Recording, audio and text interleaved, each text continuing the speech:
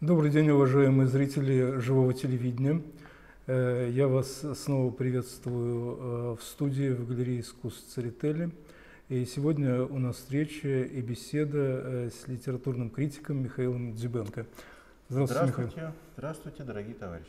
Михаил Дзюбенко для меня человек ну, просто уникальный, и мы познакомились достаточно давно, хотя редко встречались к сожалению. Но уникальность его заключается для меня в том, что если в наше время и существует кто-то подобный Белинскому, то вот э, я вам представляю Михаила Дюбенко, потому что э, он даже превзошел этого знаменитого критика, тоже являясь литературным критиком.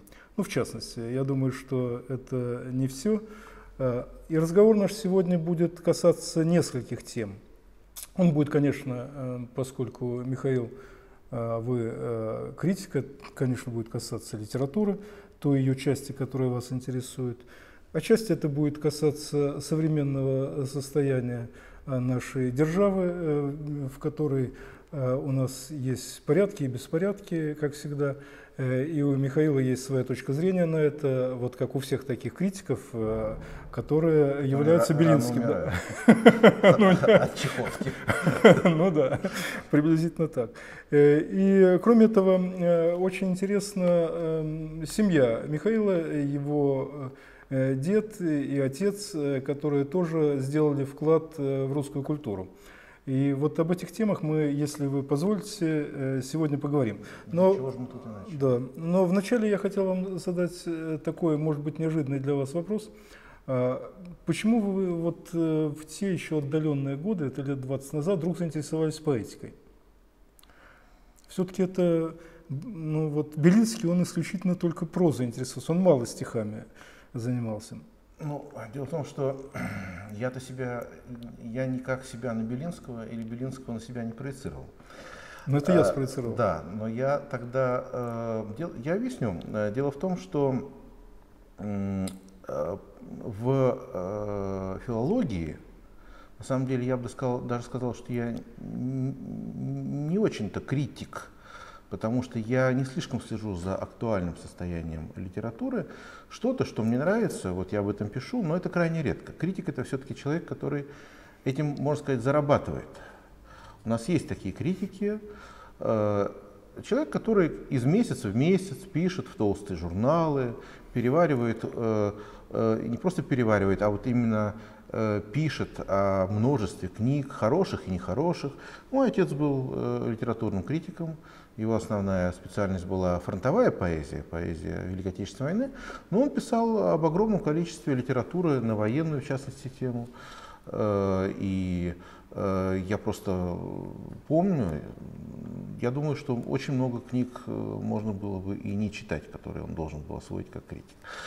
Вот. А как филолог я просто, понимаете, был мне, мне хотелось понять какую-то, как, как устроен мир какую-то э, тайну мироздания, извините за пафос. Да? Вот. И я видел разгадку этой тайны только в слове. Э, ну, у меня не было какой-то там так, тогда никакого интереса к религии, э, к философии тоже особенного интереса не было. Вот э, я пошел на филологический факультет, и э, я видел именно в этом. И после этого каким-то образом как говорят в церкви, промыслительно, есть такое словечко. Ну, случайно, не случайно, произошла встреча с Константином Кедровым, который был вот на этой передаче «Букинг» в свое время, в 1984 году, 25 лет назад, это уже четверть века. И вот я, э, вдруг я увидел современных поэтов, потому что поэзия, ту, которую я знал тогда, современная, она мне казалась страшно унылой. Вот я, я знал э, легальную поэзию, да? да? Не легальную, а официальную. Официальную, да. И даже надо сказать, что э, с этой официальной подачи и Вознесенский казался мне крайне унылым, хотя теперь-то я на него по-другому смотрю, я увидел его с другой точки зрения. Э, и, ну, еще надо понимать, что, конечно, э, вкусы нашей семьи были вполне такие, э, ну, благообразно советские все-таки. Да. То есть, конечно, э, для меня, скажем, понять Пастернака было большой проблемой. Я чувствовал, что я должен продраться, но это не было дано. Это было в семье, но это не было дано. Вот, потому что любимый поэт отца там были Твардовский, Симонов, ну, понимаете, вот такой хороший, благородный советский ряд. Вот, но мне это было скучно. И когда я увидел живых современных поэтов, э, вот э, я не мог им не заинтересоваться. Да. И уже дальше через Кедрова я начал узнавать э, и других. Вот, собственно, и все. Да, понятно. Уже... И, и, оказалось, и оказалось, что э, поиски, творческие поиски современной поэзии совершенно созвучны филологическим поискам. Ну, да. Это идет э, в одном русле. И э, дальше э, я шел по этой стезе. Ну да, понятно. Вы же и писали об этом, собственно, да. и о Кедрове, и о Кацубе, и еще о других авторах. Я писал, да, и в 1987 году так получилось, что Алексей Парчиков, вот говорилось в связи с его смертью, что он многих людей как-то э, э, путем э, своевременных знакомств, путем каких-то советов выводил, прокладывал какие-то новые пути. Вот, в частности, я помню, что он в январе 1987 года спросил меня, мы как раз тогда довольно плотно общались, а ты едешь в Ленинград? А я говорю, а что мне там делать? А вот там будет такая конференция «Поэтическая функция». Да. Устраивают ее Драгомощенко и Останин. Ни фамилии Драгомощенко, ни фамилии Останин. Я, а нет, фамилию Драгомощенко я встречал в сборнике «Круг» да. э, ленинградской э, этой самой э, э ленинградского клуба. Да, да, да. Но он был уже официально издан в 1985 году, да. вот теперь как бы была Горбачевская. Но э, э, я так как-то там была такая, там был такой колхоз, этот круг, да, что там отличить да. кого-то трудно было. И вот я поехал, ну, Распарчиков посоветовал, ехал большой десант из Виболова, Виктор Петрович Григорьев покойно ехал из Москвы. Вячеслав Всеволодович Иванов. А, насчет Иванова я не помню, я точно может знаю, быть, да, да может быть. Выступал вот, с докладом. Да, я вот что-то запамятовал. Я понял, что это туда нужно ехать. И вот я поехал и тоже импровизированно там выступил. Э, потому что, когда я послушал доклады, там первый день был в Доме ученых. Когда я послушал доклады в Доме ученых, я понял, что я попал настолько в среду своих людей, что я не могу не сказать просто. Я просто всю ночь писал записной книжке, что я хочу сказать, и там прокукарекал утром, мне дали 10 э, минут. И Драгомощенко мне сказал, вот давай пиши, пиши, мы это напечатаем, и вот э, э, спустя сколько там лет это вышло в э, журнале Poetics Journal в э, Беркли. Э, вот я показываю этот журнал. Э, мы тут хорошей компании, похвастаюсь, Драгомощенко, Рубинштейн, Пригов, Парчиков, Дзюбенко. Мы представляем здесь ну, тогда советскую, сказать, российскую поэзию. Вот потом эта статья «Новая поэзия и перспективы филологии», она, собственно, была концептуально так сформулирована, была только в 2005 году перепечатана в журнале «Детера», э, то есть прошло 16 лет, она оставалась ну, уже на русском языке. Да, но да. она оставалась актуальной. Ну, ну, я думаю, сейчас актуально. Ну, сейчас не будем, там вполне научные такие узконаучные формулировки, но во всяком случае, да, я думаю, что она и сейчас остается. По крайней мере, когда спустя год, в феврале 88 года, я же провел, э, по сути, одну из первых тоже таких легальных конференций по авангарду в МГУ, эта конференция называлась «Новые языки в искусстве», потому что было в Питере, э, ну тогда еще был не Питер, а Ленинград, было решено, что мы будем э, год проводить там, год тут. И меня попросили организовать. Организация этой конференции – это отдельная история, э, шло это все очень тяжело. Мне помог, как ни странно, комитет комсомола МГУ. Такой был Володя Лепехин, там его возглавлял. Они, видимо, уже тогда понимали, что надо что-то новое продвигать, Э, и мне дали карт-бланш, и я всю вторую половину декабря 87 и весь январь 88 года сам делал эту конференцию. Приглашал людей и так далее. И далее. Например, штрих времени, программа конференции. Там было 50 докладов. Программа конференции. У меня нет этой программы. Она потерялась при переездах. Она была отпечатана всего в 50 экземплярах по числу докладчиков, mm. и я просидел два дня, чтобы ее залитовать. Вот сейчас, наверное, даже нельзя объяснить, что такое залитовать. Получить официальное разрешение на публикацию этой программы, просто четыре mm. листочка, вот, э, разворотик, да? Э, и, э, Обнародовать имена, так сказать. Да, раздать докладчикам. Вы понимаете, сейчас трудно, хоть, да хоть 100, хоть тысячу этих программ можно напечатать. А тогда было так. Я потратил два дня, как сейчас помню. Я лез на стенку от бессмысленности происходящего, но я понимал, что э, по-другому иначе не будет. И вот эта конференция прошла в Москве с 1 по 5 февраля 1987 года, причем э, о том, что она собирается, вдруг узнал портком за два дня. Было заседание порткома МГУ. Это отдельная история. А, они хотели запретить, а я разговаривал с секретарем парткома и сказал, что вы запретите, но у вас будет скандал страшный. И, пожалуйста, не надо ничего запрещать, я вас приглашаю на открытие. Был у нас такой. Причем я звонил ему с автомата, потому что мне сказали, что срочно надо позвонить. Вот.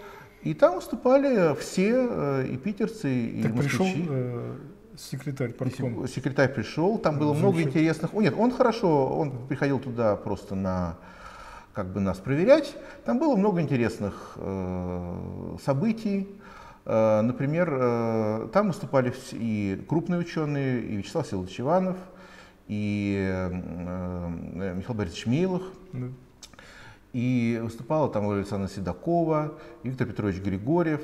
Выступали и э, критики, Бакштейн выступал, выступал э, и Пригов выступал, и даже вел одно из заседаний. Э, в общем, ваш покорный слуга выступал с докладом Дуни Смирнова в языковых пространствах. Угу. Вот, Дуня присутствовала в зале, она была та восходящая звезда. А, э, питерцы выступали, э, выступал Вадим Руднев из Риги приехал, да. Максим Ильич Шапир выступал. Сейчас, по-моему, Руднев стал исследователем. Ну, он, он, Фунд, он, очень фундаментальные статьи публикует. Он книги в культурологии, он да, книги, книги печатает. Да, книги. Он занимается сейчас психосемиотикой. Он да, создал да, новую да, науку очень, очень интересно, один из самых интересных. Да, конечно, да. Вот, и тогда, например, был такой эпизод, Вадим э, Лурье, исследователь из Ленинграда, он делал доклад про матерные слова. Угу.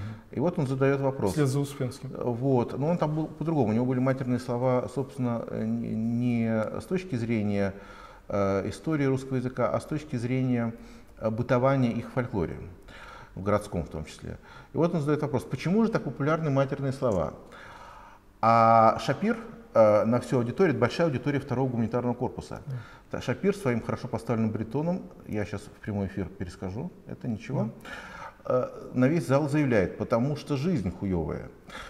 Э, вот. А там сидят, сидят и записывают, естественно. Там были и мне на следующий день э, дали втык за то, что у вас тут такое происходит. Но тем не менее, и вот была эта конференция, и представляете, авангардисты жили в общежитиях главного здания.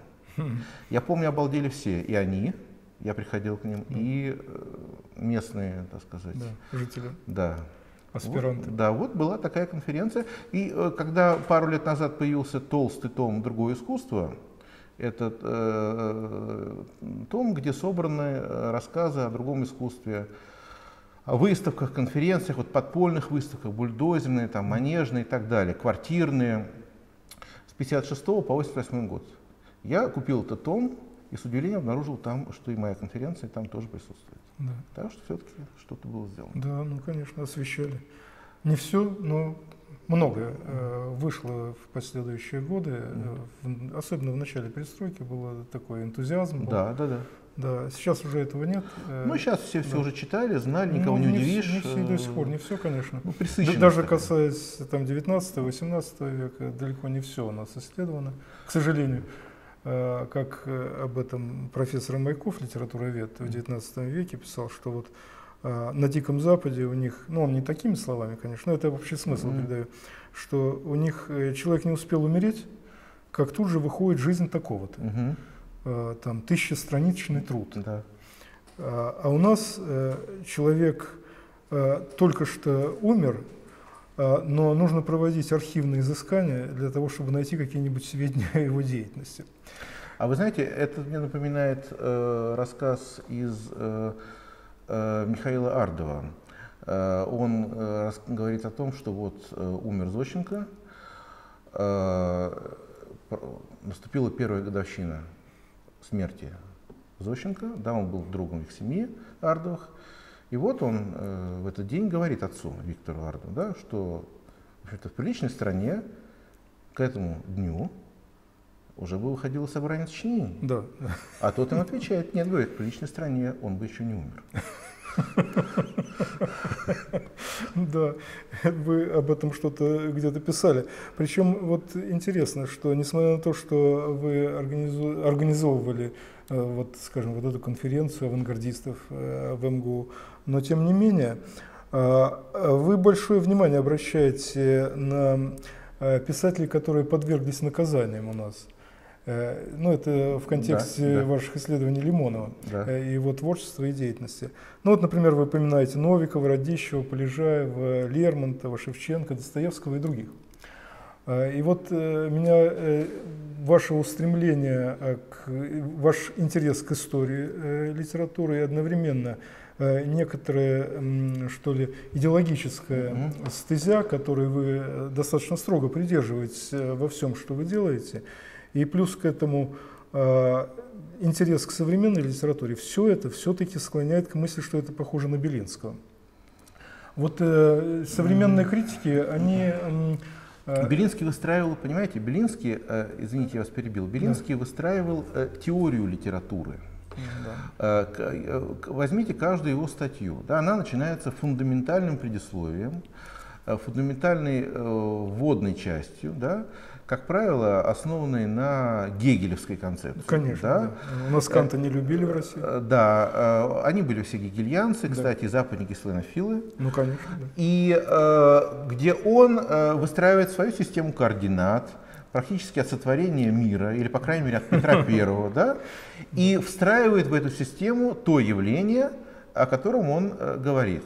Скажем, Э, Пушкина, и причем, э, если да. он пишет там другие Пушкина, да. что другие Пушкина, или Лермонтова, или Гоголя, у меня ничего подобного нет. Я не нет, претендую... вы, только, вы как раз именно этим и занимаетесь. Нет, я не претендую. Вы начинаете на... не от сотворения мира, но от раскола, скажем. Э, нет, это другое. Да. Это исторический подход. Вы понимаете, дело в том, что меня когда-то очень интересовали разные теории, и вот mm. я предпринимал опыт. И у меня есть своя теоретическая какое-то свое теоретическое представление о литературе, которое я еще письменно не оформил. Но Э, мне понравилась мысль, э, которую высказал Лотман э, в последней, по-моему, книге о взрыве, да, «Культура и взрыв», он написал о том, что концепции – вещь скоропортящаяся. Да. То есть, сочинив огромное количество концепций, он перед смертью пришел к выводу о том, что это все вещи скоропортящиеся. К сожалению, я должен сказать, что Э, я, э, нет, я не Лотман, но э, я пришел к выводу о том, что да, действительно, они устаревают. Ну вот его концепция, скажем, у него была такая закрытая тема, робот как элемент социальной системы, разве она устарела? Нет, но многие концепции, ну, во-первых, я думаю, что она, сейчас мы не будем это обсуждать, mm. она, конечно, в свете открытий последних 15-20 лет, конечно, может быть существенно вы э, имеете в виду биосемиотику, которая да. вы интересует? Ну, в том числе, да, откорректировано. Понимаете? Э, то есть э, я вдруг, понимаете, концепциями еще когда легко заниматься? Когда нет истории. Да. Вот мы же жили в остановленной истории. На самом деле, знаменитая идеологема Фукуямы о конце истории, она была применима скорее к советской России вот после сталинской. Ну, да? Еще Дягилев да. и Скрябин хотели остановить э, историю. Но она уже была остановлена, как вы считаете? Ну вот ее остановили как раз э, после Скрябина. То есть он блестящий эксперимент, блестящий удался. Он умер после этого После парижских сезонов. Э, э, ведь на самом деле стремление достичь ну, там, какого-то наивысшего состояния, да, не знаю, коммунизма или чего-то, это и есть попытка остановить историю, по сути говоря. Давайте ее остановим. Вот, вот, вот давайте сейчас ее здесь закрепим и больше никуда не пойдем. И получилось так, что когда 80-е годы, э, я думаю, вы тоже это помните, было такое впечатление, что, в общем, ну, понимаете, для того, чтобы чувствовать исторические сдвиги, нужно было уже обладать историческим опытом. Да. А когда э, мое поколение вступало в жизнь, то никакого исторического опыта не было. Вот как было в 70-е годы, вот так же оно и в 80-е годы, да, э, какие-то сдвиги были, но нам, нам они были неуловимы. И вот э, поэтому я помню, что весь мой интерес был именно в теории, в концепциях. Да. А затем началась история. Она э, была, конечно, она идет, э, очень кроваво. То есть она возобновилась, эта Да, история. она о- оказалось, что она была. Мы просто, но понимаете, когда это миллиметровые сдвиги, они незаметны для нетренированного глаза. Да. А, Ну, скажем, э, если сейчас э, еще продлится наш, так сказать, наша тандемократия, да, и Медведев и Путин будут еще лет 20 чередоваться, то поколение, которое, которое родилось, там, скажем, в 95 году, так и будет думать, что вот это так оно вот и устроено, на- наверное, вот история. пересели, пересели, пересели, да, понимаете? А, э, а история рухнула, как вы помните, просто обрушилась на нас, э, вот эту плотину прорвало, да, где-то 89 90 91 год. И хорошо, что она обрушилась, потому что это живое течение. Да. И вдруг обнаружилось, что на самом-то деле э, прекрасно можно и дальше строить концепции. Но, а вот живой ход истории, понимаете? Да. И поэтому э, я, э, уже получив какой-то исторический опыт, может быть он небольшой, но тем не менее, я обратился к изучению истории. В том числе уже и на, и на церковном материале. В том Да. числе. А почему вас именно заинтересовала э, вот э, история, она, э, ну, она как вот та песчинка, о которой не помню, кто из великих древних философов сказал, что даже для описания этой песчинки не хватит времени жизни, Да. если ее подробно рассматривать. Но почему вот среди историй, которые многогранны и во многом зависят от ориентации личности, не, э, не мифотворчество историческое, а вот обращение внимания на иные, вот, э, скажем, накануне Октябрьской революции у нас было по меньшей мере 12 э, исторических серьезных школ, э, которые с разных точек зрения подходили. Это были не единичные ученые, это были большие группы ученых. Мгм. Да. А, И вот потом это стало постепенно сокращаться. Там последний прецедент был это вот когда разогнали Любомирова, когда уехал э, Федотов там, ну и другие э, Ну, подобные. Уже, да. уже, уже в 30-е годы, помню. В- да, до Покровского 30-х, там да, Покров- громили, да. Да, ну Мирсон э, Да, в да. основном занимался этой Да. благотворной деятельностью и разгонял все исторические школы. Э, Впоследствии он сам пострадал Да, и понятно. был расстрелян. Да. Но э, вот эм, э, почему вы э, при таком широком э, э, процесс ведь все равно продолжался, он был также многогранен, хотя он происходил другим образом. Мгм. Почему вот из этого всего процесса вы обратились именно к старообрядчеству и уделяете ему столько много внимания? Ну, э, получилось... Хотя, хотя я сам тоже этим очень интересуюсь, и мне интересно знать вашу точку зрения. Вы знаете, во-первых, от авангарда до старообрядчества один шаг. Да что Э? По-моему, э, Лихачев Дмитрий Сергеевич назвал э, протопопа Авакума первым русским авангардистом. Да, это читал. Вот. а, И, в общем, с этим можно отчасти согласиться. Это, конечно, формулировка парадоксальная, но, тем не менее, что-то в этом есть. Вы знаете, дело в том, что получилось так. А, Я э, после... э, Я ведь ушел из университета с пятого курса. А, ну, у меня была впереди Вы учились в МГУ? тогда? да, филфак, русское отделение, МГУ. Э, Я занимался первые официально, хотя вот неофициально занимался авангардом. Но официально первые два года я занимался Жуковским, первые три года Василия Андреевича Жуковского Да. творчеством, которого я очень люблю. Я считаю, что это поэт, э, ну, я не буду сейчас здесь Ну, агитировать я- за Жуковского, я но во всяком разделяю, вашу любовь к нему. Э, Вот, э, э, для меня, на- надо сказать, эта величина значит гораздо больше, чем, скажем, Пушкин. Но это мои личные вкусы. Кроме того, просветитель, воспитатель. Воспитал все-таки Ну да. царя-освободителя. Ну, конечно. это надо понимать, что такое вот, что, то есть, понимаете, он воплотил просветительскую концепцию, да, вот этого идеального воспитателя. Он в себе его воплотил. Вот мы же не знаем других таких примеров. Э, Да, Гёте там пытался что-то такое, но на самом деле вот Жуковский. Вот живой пример, да? Ну, наверное, есть и другие. Есть, просто но это самый, да, Да. вы понимаете, который повлиял, э, Жуковский своей личностью повлиял на ход истории целого государства. Да. Потому что его вот эта вот э, кроткая, незлобивая, э, идеальная да, личность, э, над ним смеялись, он был там несчастлив э, э, в семейном отношении и так далее. Но тем не менее он сделал очень много. Я думаю, что на самом деле, вот мы говорим, царь-освободитель Александр II. Но надо помнить, кто был его воспитателем, Да. кто его воспитал. И вот, а потом я занялся Булгаковым э, Михаилом Афанасьевичем. А ну я, и у меня была впереди такая дорога ясная. Вот аспирантура, там, все такое прочее. Мне этого не хотелось. И э, я ушел с пятого курса, то есть практически уже вот у финиша. Я сошел с дистанции и сказал, нет, меня это не устраивает. И забавно было, что я, например, полгода был сторожем э, на ТЭЦ-16, был такой творческий коллектив. Значит, это смена, которую возглавлял Гена Кацов, директор клуба «Поэзия». У нас был замечательный коллектив, поэты Александр Бараш, сейчас он да, в Израиле, да, да. довольно серьезная да. величина. Поэт Андрей Туркин, он погиб в 96 году. Э, кинорежиссер э, Игорь Олейников, он погиб. Да в 1994 году в авиакатастрофе, художник Леонид Зубков а, и джазмен Аркадий Кириченко, знаменитый да. до сих пор.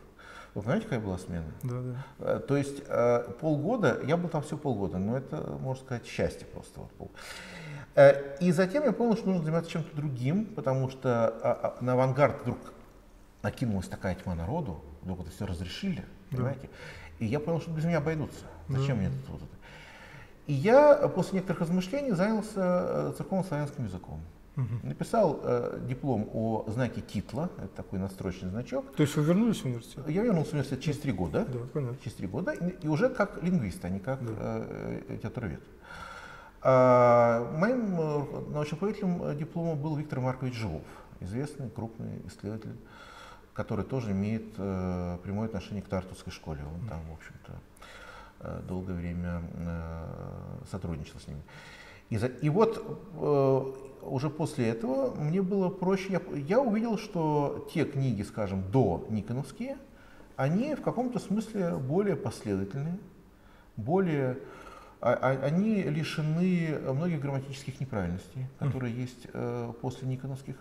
То есть э, я э, проникся, просто прочитав но расхожее мнение, что все наоборот. Ну, это расхожее мнение. Да. На самом деле сейчас есть исследования, которые доказывают, э, скажем, исследование Бориса Павловича Кутузова, да. Которые доказывают, что это расхожее, это не то, что расхожее мнение, это идеологическая установка, да, да. Которая, которая внедрялась и которая оправдывала реформу. Угу. Но в действительности э, реформа испортила тексты, и более того, я вам скажу, на протяжении всего 20 века потихонечку потихонечку, исподволь возвращаются к дореформенным текстам. Не везде, но так вот, кое-где, где можно, понимаете. И за, кроме того, помимо этих текстов, ну, у меня была какая-то своя личная, что ли, э, тяга. Дело в том, что я в Старобряческом храме впервые оказался в 92 году. Это был Покровский собор на Рогожском кладбище. Э, вот я думаю, что э, стоит э, показать эм, Э, стоит показать, да, как выглядит э, Рогожское кладбище. Оно сейчас почти уже в, чер... оно в черте Москвы, а когда оно основывалось при Екатерине II в 1771 году, это было Подмосковье, это было примерно 5 километров от э, границы Москвы. И вот там выстроены, вот, э, вот как выглядит Рогожское кладбище. Э, это по Нижегородской дороге Рязанский проспект. Да, вот видите. Зрителям показывают. Да, вот э, это разворот, это постройки уже, это как конец 19 века. Вот Покровский собор, где сейчас проходят службы, это кафедральный собор. Э, его постройка приписывалась Матвею Казакову, ну, теперь считают, что это не Матвей Казаков, но, по крайней мере, его мастерская. Это собор Христорождественский, значит, это собор 1792 года, Покровский, Христорождественский 1804 года. Э, строил его один из учеников Баженова, это видно по готическому оформлению. Это только что этот собор, ему вернули первоначальный вид, он был в советское время безображен, купол был снесен.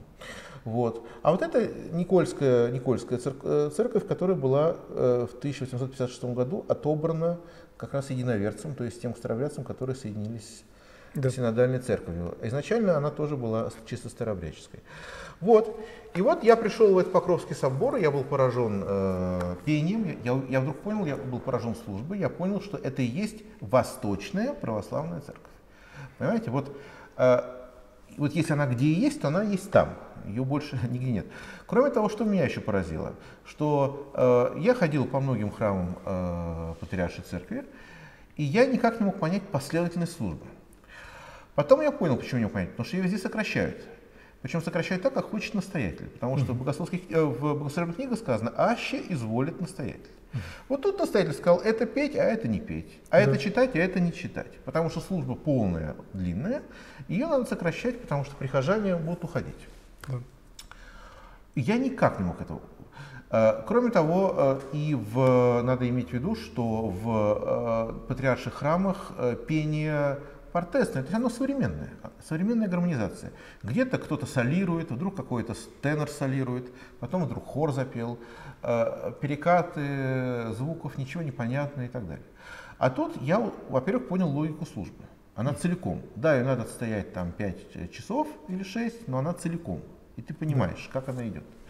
Потом э, унисонное пение, то есть все поют один, э, в один голос, и ты понимаешь, что поют. Да. Ну и, в общем, э, конечно, меня это поразило. И э, не сразу, они там, конечно, не ждут с распростертыми объятиями, э, но не сразу, но, в общем, да, я пришел туда. Вот, и стал заниматься историей старообрядчества. Э, причем и самого старообрядчества. Э, ну вот этот номер журнала «Церковь старообрядческого», который мы держим, который я держу в руках, посвящен столетию распечатания алтарей храмов Прогорского кладбища. Дело в том, что в 1856 году, как я уже сказал, упомянул, при Александре II алтари Рогожских храмов были запечатаны, запрещена была служба церковная, а при Николае II в 1905 году они были распечатаны. Да. Это большой праздник, он отмечается каждый год. И вот, в частности, э, было столетие в 2005 году. Здесь есть моя статья. Я, например, могу показать замечательную фотографию.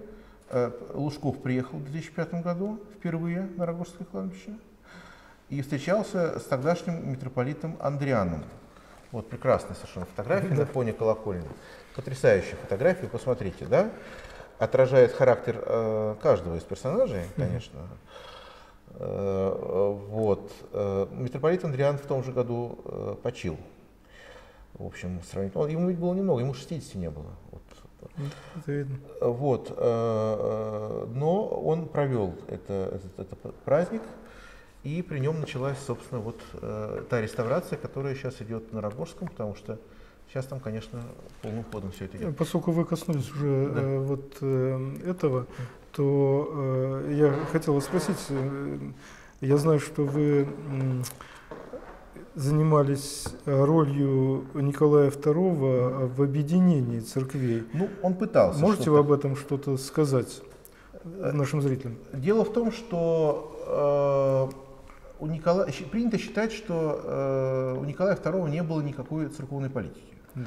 Что он вообще был такой человек э, слабовольный, который шел там по ветру, да, что жена подскажет или там еще что-нибудь. Э, на самом деле, я думаю, что он, э, у него был свой замысел. Э, дело в том, что Николай II, ну вот, смотрите, я просто перечислю. Вот он распечат... дозволяет распечатать алтари. Это может сделать слабовольный человек? Ну, не знаю, вот, например, Александр III не разрешил. Может быть, проявление сил, силы воли, не знаю. У нас ведь как считается, что если кто жмет и не пущает, это человек сильной воли. А кто разрешает, тот человек слабой воли. Но я думаю, что нет. Потом, а, он возобновил, а, он, э, так сказать, с его разрешением было возобновлено почитание преподобной княгини Анны Кашинской. Анна Кашинская, она э, была прославлена еще в 17 веке, а потом ее прославление, это, в общем, один довольно редкий случай, было прекращено. Почему? Потому что она лежит в гробу с двоеперстием. Угу. И, в общем, гроб ее был убран, и, в общем, все там было прекращено. Так вот, он возобновляет это почитание. Угу. Затем э, начинаются разговоры о созыве э, собора. А собор э, не собирался в, в господствующей, как говорят старобрядцы, то есть новобрядческой церкви с времен Петра Первого. В то время как старобрядческие соборы собирались регулярно. Да. И они сейчас собираются каждый год. Да. Для этого не нужно никакого разрешения. Это об... церковь соборная, как говорит Симон веры. Она собирается на соборы каждый год. И э, Николай, видимо, хотел, есть разные другие костные признаки, он, видимо, хотел как-то вот э, черты старобрядческой церкви передать господствующей, да, и в то же время, э, ну, как говорили тогда, уврачевать раскол, то есть присоединить старобрядцев э, к господствующей церкви. На самом деле ни та, ни другая страна к этому не готова, и, в общем, это, честно говоря, сомневаюсь, что это могло получиться. Но вот он, тем не менее, так предполагал. Поэтому он откладывал созыв Поместного собора, он уже был создан после его отречения. Э, я думаю, что какие-то мысли у него были. Кроме того, надо помнить, что охрана его состояла во многом из старобрядцев, и он христосовался со старобрядцами. Э, и, в общем, вот этот э, промежуток времени с 905 по 917 год, как раз Николаевское царство и называется «Золотой век старобрячества». Есть такое название у исследователей. И, кстати говоря, хочу заметить, что э, э, вот э, крестный ход, который каждую, э, каждую весну ходит на праздник Жен Мироносец, в память распечатанных алтарей, он имеет очень интересную символику. Э, жены мироносцы пришли к гробу Христа и увидели, что камень отвален, да, на нем сидит ангел, говорит, что Христа здесь нет. Да? Христос воскрес. А, как, то, что Празднование распечатанного алтарей приурочено к празднику Жен Мироносец, это третье воскресенье после Пасхи, означает, что Старобрядческая церковь прямо отождествляет этого ангела с Николаем II. Понимаете? Вот, ну, поскольку ну, да, алтарь это... Навевает там. очень многие разные И более мысли. того, я хочу сказать, что вот колокольня, которая стоит э, на э, огромной колокольне, она э, на несколько метров всего ниже колокольни Ивана Великого угу. Кремлевской. Но выше не разрешали. А, да, но никто не стремился, но она э, вторая по величине в Москве. Да. Так же, как храм, Покровский э, собор второй по величине после да. храма Христа Спасителя. Так эта колокольня, она была построена именно э, в честь распечатанных алтарей. А, уже в 12 году она была освящена. И таким образом старобрядцы почитали Николая II, ну, может быть, не, не канонизировали, естественно, но почитали за его вот это благодеяние всегда. Да, но, насколько мне известно, вы, рассмат... вы ввели такое понятие э, топос раскола. Э, и э, с этим трудно не согласиться, э, поскольку э, один раз э, случившись, э, Вообще этому посвящена довольно большая литературоведческая литература, э, которая связана с темой новгородской свободы, э, в частности. Да. А, то есть раскол как бы имеет своих предшественников и предтеч, и э, это лишь подтверждает э, то, что э, вот введенный вами термин топоса раскола, который присутствовал и до самого раскола как такового. А, поскольку исторически мы знаем, что страна всегда была расколота. Ну, по крайней мере, но вы выводите целый ряд параметров вот этого топоса, которые, мне кажется, очень интересными. Можете вы на этом немного остановиться? Вот какие именно, э, что вы видите, вот, э, какие э, оппозиции, вот, какие бинарные оппозиции возникают в рамках этого топоса? Исторически? Ну, под топосом вообще принято понимать некую, некую устойчивую тему. Да? Mm. Это риторический термин, некое устойчивое такое риторическое измерение, к которому мы обращаемся.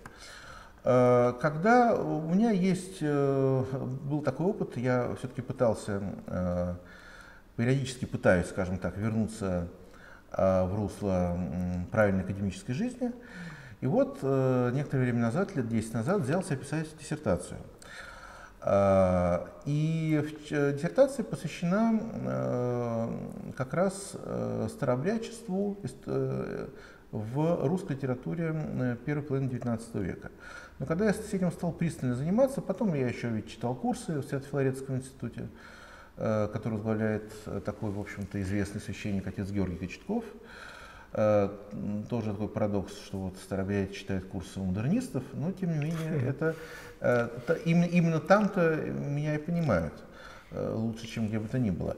И э, я, когда стал писать диссертацию, я столкнулся с тем, что это явление очень глубокое, что э, с ним надо как-то, э, его надо глубже описывать, чем просто вот 19 век, 18 век. Э, и даже 17 век, может быть, это не предел. И я понял, что действительно раскол, раскол, я имею в виду не старообрядчество, это неправильно отождествлять да, да. старообрядчество расколом, а вот раскол как э, э, некое э, внутреннее состояние э, народа, страны, э, имеет очень глубокие корни.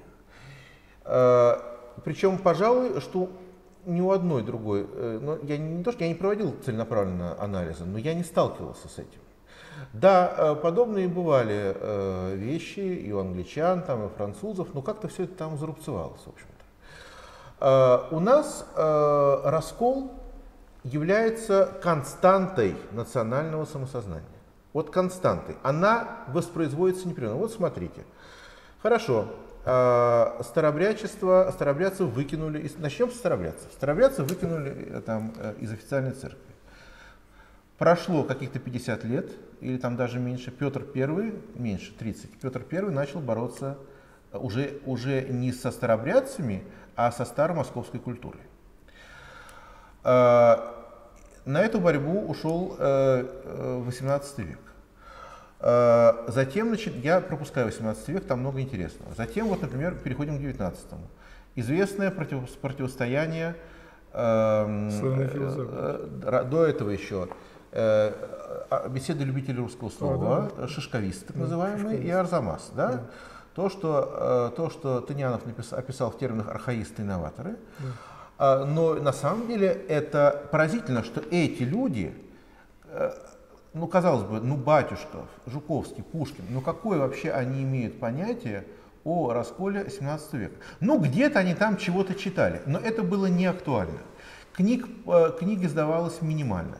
Для них, э, никто из них, я вас уверяю, э, для них живой старобрядец был не более актуален, чем живой еврей. Даже, наверное, менее актуален. Понимаете, потому что с евреями Пушкин сталкивался в Кишиневской ссылке и даже там с кем-то из евреев там флиртовал. А, Кого вы имеете в виду? Ну, были, ну, у него есть знаменитое стихотворение. Я считаю, что э, вся тема, э, на самом деле, э, так сказать, христианско-еврейского диалога закрыта Пушкиным. Да. А Христос воскрес, моя Ревека. Вот, знаменитое стихотворение. Вот. А старобрядцы были не актуальны. Первый писатель, который побывал на Рогожском кладбище документирован, это Иван Сергеевич Аксаков. Угу. И, тем не менее, этот топос воспроизводился. Потом, почему-то он воспроизводился, когда было восстание декабристов. Э, вспомните Грибайдов, э, старуха э, Туголуховская княгиня говорит про педагогический. Есть в Петербурге институт педагогический, так кажется зовут, там упражняются в расколах и безверии профессоры. Помилуйте, на педагогическом институте раскольников быть не могло точно. Да. Значит, э, слово раскол имело какое-то более широкое значение, да, э, э, не наш, да, да. наш внутренний враг. Да. И Стр- за... такой. Вот. И затем, да, западники, слонофилы. Затем, естественно, у нас был раскол Э, и во второй половине 19 уже после реформ, э, во второй, третьей, в последней трети 19 века, раскол между большевиками и меньшевиками. Да. Вы понимаете?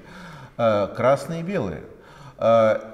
Казалось бы, да, потом этот раскол в советские годы тоже воспроизводился. И, собственно говоря, существовавший исподволь да, раскол между почвенниками и западниками в 60-е, 70-е, 70-е годы, да, ну, условно говоря, там э, наш современник, да, э, или молодая гвардия, да, mm-hmm. и кто там у нас был западники, там э, Новый мир, там, mm-hmm. ну, Новый мир очень условный, они такие почвенники mm-hmm. умеренные, да.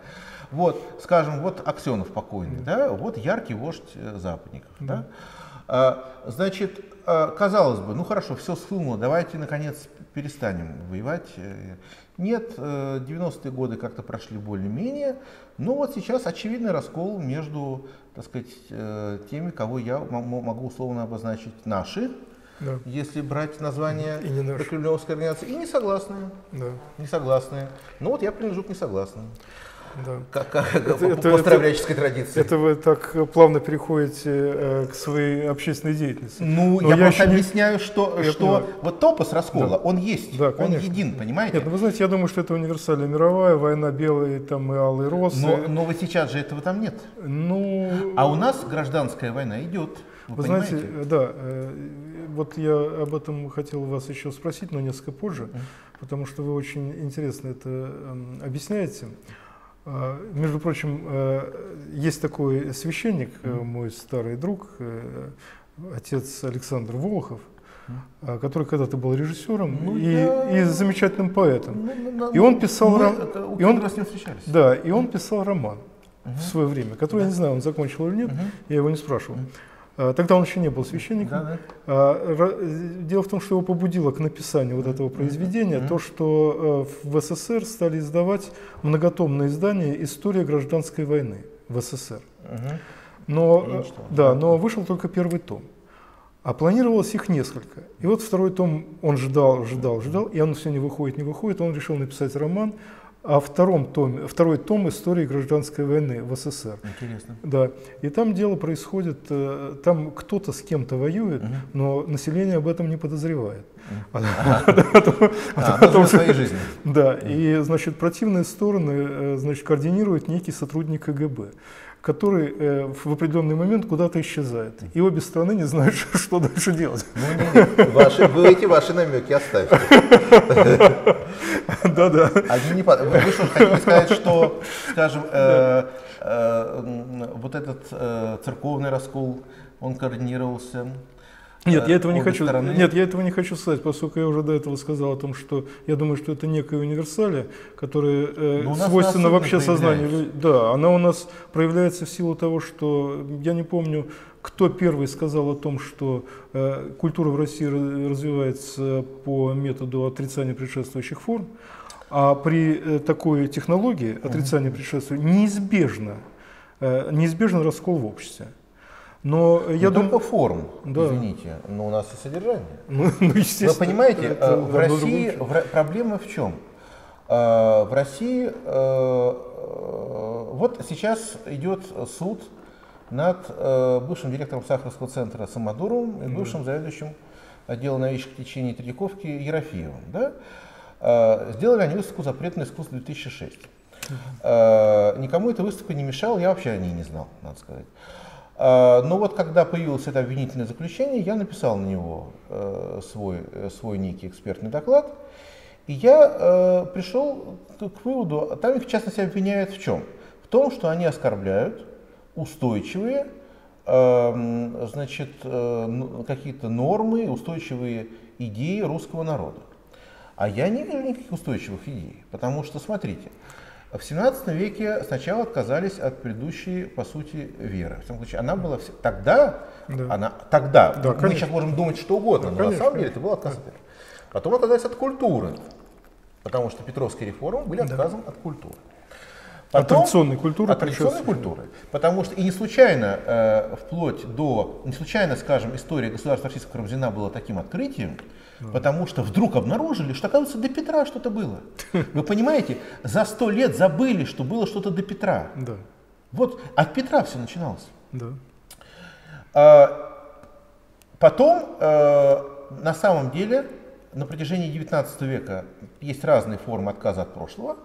И, наконец, э, советский, вот эта советская революция, да, это самый радикальный отказ. Да. Мы считаем, что ничего подобного не было. Ну почему же? Вот раскол, вот э, Никоновская реформа, Петровская было. Потом у нас отказались а, от всего советского прошлого в 90-е годы, в том числе и от хорошего. Теперь у нас, да, еще тут были промежуточные этапы. Значит, Хрущев отказался от Сталина, Брежнев от Хрущева и так. Теперь у нас отказываются от, э, от, от, э, Ельцина, как будто, э, как будто мы думают, что мы забыли, что было там 10-15 лет назад. Вы понимаете, ну, при- при- когда вот так вот ломать кость, да, то она уже никогда не срастется. Это будет месиво. Да. А, ну да. А, и вот, эм, вот в вашей статье, э, где вы, э, где вы анализируете а, с, под интересным таким углом зрения, не вы один, конечно, э, деятельность Лимонова и протопопа Авакума, там есть э, такие э, слова Лимонова, что человек бежит в другой мир, если его не удовлетворяет этот мир. Это взгляд Лимонова. Да, это взгляд Лимонова. Мгм. А, Но в какой-то степени э, раскол э, как универсалия общественного развития э, и вообще как некая бифуркация, которая необходима, он, конечно, необходим. Но мне кажется, дело не в том, не в самом расколе, а в том, в каких формах это проходит и какая, какая степень нетерпимости наблюдается у сторон. Потому что когда мы говорим о наших формах раскола, как о топосе, таком общественного развития, то мы скорее имеем в виду не вообще сам факт того, что что-то а, что-то образуются какие-то боковые ветви и что-то противопоставляется одно другому и по разным параметрам. Скорее мы имеем в виду вот эту общественную нетерпимость. И э, степень нетерпимости, я думаю, что она в достаточной степени э, известна в других формах и э, не только в нашей стране это не является нашим каким-то уникальным свойством. Вот, например, э, есть замечательный роман, о котором очень редко упоминают, который Приво сочинил «История одной гречанки». И там некий французский посланник находится в Турции, и вот все крутится вокруг молодой женщины, которую он забирает из Сираля там и прочее. Но интересно не это, а интересно его наблюдение над турецкими нравами. И э, когда всего-навсего по подозрению о том, что кто-то договорился там поставить престолонаследником сына царствующего, угу. сейчас султана, э, то этих э, пашей казнят немедленно. Степень нетерпимости к какой-то другой точке зрения крайне велика. И она велика не только в России. Да, Но, есть много таких стран, ну, где и много направлений развития культуры, где мы это видим. Сравниваете да это, нет, это замечательно, потому что вы сравниваете современную Россию с Турцией. Там, э, а я вижу очень много. Я, я, очень много. я вспоминаю Лермонтова жалобы турка. Да, да. Вот, но, но, но я, извините, я хочу сказать, что у нас в чем проблема? У нас отсутствует медиация. У нас, э, да. э, нет, э, у нас нет э, механизмов э, медиации, которые бы сращивали эти антагонизмы. Mm. Вы знаете, вот есть такой... Э, мне Или интерфейс какой-то образовали между ними. Мне повезло, я э, на протяжении трех лет, с 85 по 88 год, э, посещал междисциплинарный семинар в Гнесинском институте, это был тогда не академия, институт, который вел Михаил Аркадьев. Михаил Аркадьев это э, пианист, э, дирижер, он долгое время выступал с Хворостовским, э, но я его ценю в первую очередь как теоретика, он замечательный теоретик. Uh, у него есть сайт, там uh, много интересных. Uh, он музыкальный теоретик, но он и теоретик, так скажем, культуролог. И вот в частности он просто обосновывает необходимость парламента, парламентских форм тем, что человечеству свойственно такое вот противопоставление, такой ну, раскол. Да, и необходимы медиации. Да. Они просто нужны. Иначе э, человек, люди, для чего парламент? А вот для болтовни, для проговаривания. Да. Вот мы собрались, вот мы все высказались, да, да. мы проговорили, и да, дело даже не в том, нашли мы что-то общее. А по крайней мере мы это как-то пропустили через слова, понимаете? И это уже, э, этому уже придан, придана вербальная форма, не, не форма там автомата, понимаете, а вербальная форма. А поскольку у нас в стране парламента нет, будем говорить прямо, ну, в парламент том смысле, в котором не место для дискуссий, как нам заявил да. Э, некто Грызлов, то а, а что же это такой парламент? Ну тогда, тогда это получается, э, тогда это как-то все по-дикому происходит, понимаете? Это нужно, это нужно просто для выживания страны. Да. Вот, э, Что нужно? Парламент? Парламент. Же... Парламент. Да. Парламент нужен для того, чтобы страна могла проговаривать, вербализовать. А, не тот парламент, который, который, не тот, реальный, который сейчас, а, а который необходим. Который, да, который, да. Э, да. Где высказываются разные Который полностью соответствует да. э, названию. То есть не для того, чтобы подтверждать и подписывать да, документы? разумеется, да. Парламент, ну, э, э, юридическая функция парламента, она у него есть, конечно. Но э, в первую очередь это именно место, где разговаривают. Да. Вот это пренебрежение к разговору, которое мы унаследовали ну, от большевиков, конечно, но на самом деле не от большевиков, это пренебрежение у нас э, отчасти идет там, и от народовольцев и так далее. Да? Э, это неверно. Человек – существо словесное. В да, том числе христианин – существо словесное, понимаете? Христианин. Да? Потому что Бог, Бог слова, Да. да? Он э, э, э, не- все-таки не Бог дела, как Да. хотел Фауст, э, да, а Бог слова. Вот по- пока этого нет, у нас будет раскол. М, То есть да. раскол, то есть понимаете, парламент просто э, необходим объективно. Не то, чтобы давайте так устроим, э, давайте так устроим. Нет, пока вот мы так не устроим, э, э, понимаете, существование парламента, оно требуется, э, э, э, человек так устроен, человек так устроен, что ему нужен парламент. Конечно. Понимаете? Вот просто э, таково устройство, э, ну, как угодно, падшего, грешного человека. Но психика так Вот, устроена, да, в ней, да, в ней существует да. эмоциональная позиция, Вот, и никто этого не отменял. И их нужно проговорить. Да. А если они не проговорены, То есть- тогда начинаются драки, тогда начинается Нечто, ненависть не- какая-то. нечто бессознательное Да, перевести в план да, сознания, верно. но культурным способом. Совершенно Да. А если разрешить говорить людям, которые не умеют говорить, то они начинают А драться. пусть научится. Вы понимаете? Научить невозможно, нужно уже готовых, которые Нет, умеют. но понимаете, готовы. Если я не говорю, Да. то э, потом э, не может быть так, что я не Но вы говорю, не можете быть и в вдруг парламенте. заговорил, и Да. вдруг Вы не можете быть в парламенте, если вы не говорите. Правильно. Да. Но э, люди, э, должна быть некая э, культура нескольких поколений, хотя бы одного, двух, трех. Вот мой дед, э, э, о нем мы почти ничего не говорили, Григорий Михайлович Коган, э, он э, мог, э, он родился в 1901 году, умер в 1979. И он э, застал еще эту культуру э, политической жизни. Он вообще был последователем э, Плеханова, Да. то есть меньшевиком. Да, да. Э, Презренным меньшевиком. вот. И, и он остался меньшевиком. Он э, не вступил в ВКПБ, он особенно не афишировал своих взглядов. Но надо сказать, что он не занимался общественной деятельностью в советское время, но он остался э, убежденным меньшевиком. И вот он как раз понимал необходимость э, такого парламентского э, способа э, э, ведения дел. Он, в частности, ставил вину большевикам разгон учредительного собрания. Да. Он просто не мог этого простить. Э, Так что нет, парламент необходим, мы не можем без этого. Да, конечно, но э, мы, мы не можем, но с нашей точки зрения не особенно считается. Ну, не считаются, но будем говорить. Да. А, да, действительно. э, но я бы хотел вернуться к началу нашей беседы. Мы пропустили один важный момент, как мне кажется, вашего интереса, э, который упоминался уже, но э, мы отклонились э, в сторону историзма. Я бы хотел снова вернуться к э, э, чему-то, что связано непосредственно с человеком, как э, личностью, как духовным существом. И в связи с этим, э, это было в связи с тем, что было упомянуто слово биосемиотика. Мгм.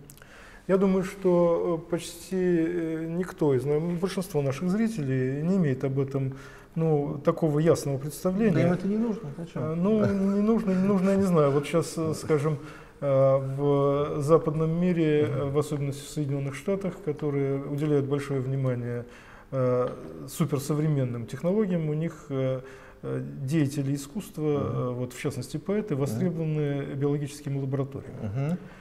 Э, И со- совсем не в той среде, в которой обычно принято суще- существование поэта. Вот он должен, как сейчас недавно нам снова заявил об этом поэт Евтушенко, что он опять про стадионы, где значит, через микрофон очень много На народу. стадионах сейчас выступает патриарх. Зачем Да. Евтушенко? Но вот, но Евтушенко все еще скучает. У нас теперь в роли времени- Евтушенко патриарх. Да.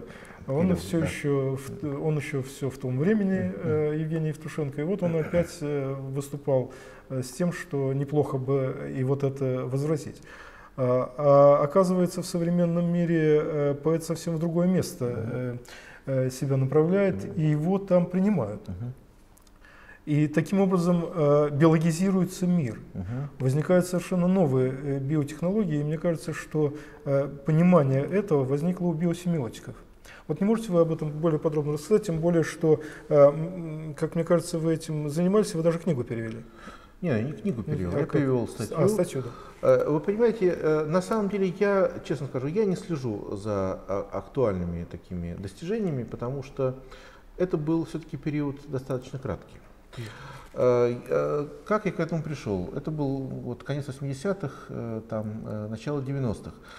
Э, Получилось так, что я шел, надо сказать, по следу, который проложил Кедров Константин Константин Александрович. Э, У него есть э, замечательная, на мой взгляд, э, теория, концепция, которая так, получила развитие еще далеко не полное. Это концепция метакода, то есть единого кода живой и неживой материи.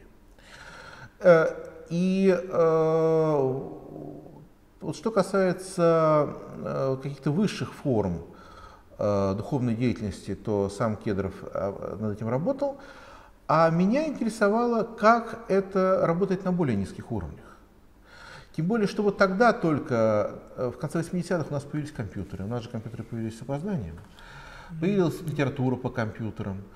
А, и э, я э, стал э, просто интересоваться тем, как устроен, вот меня лично интересовало, как устроен знак, вот с этой биосемиотической точки зрения. Надо сказать, что на этот вопрос я ответ не получил, потому что ну, там возникли другие интересные вопросы. Я ездил на школы по биосемиотике, э, были такие э, школы зимние в Сушневе. Э, Сушнево это имение, кстати, тут тема старобряческая. Угу. Сушнево это имение, которое принадлежало Анне, а, а, а, Анне Тимофеевне Карповой, а она это дочь Тимофея Савича Морозова. Угу. Это за петушками, угу. за орехом зубом. Вот. Это не оттуда возник так называемый Морозовский проект впоследствии? Не знаю, я, я про Морозовский не проект ничего не знаю. Э, то есть, э, что имеется в виду. Да.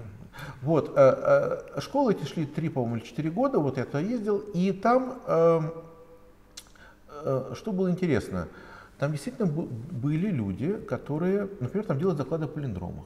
Угу. Там мы познакомились в свое время с критиком, ныне известным Ильей Кукулиным. Он был тогда студентом, по-моему, психфака. И он туда приехал. Вот. А, это привлекало э, вот, гуманитариев. Да. Да? А, а, там мы с э, биологом Василием Агрысько сделали такой вот доклад, где показали, меня интересовало, э, как, как происходит переход от, от, от одной языковой закономерности к другой да. в рамках поэтических текстов. Да. А он э, сказал мне, слушай, а ведь э, то же самое есть, э, что какие-то близкие закономерности есть на генетическом уровне, он специалист по генетике. Да. Ну, конечно, я, э, честно скажу, э, я плохо помню, что он там писал, потому что у него, конечно, концепция гораздо более сложная. Он специалист экстра-класс, он сейчас за границей работает уже 20 лет. Э, но оказалось, что есть параллели. Mm. И мы сделали вот такой доклад, у меня э, идея какая, что в общем-то есть переходы, понимаете, э, поэт,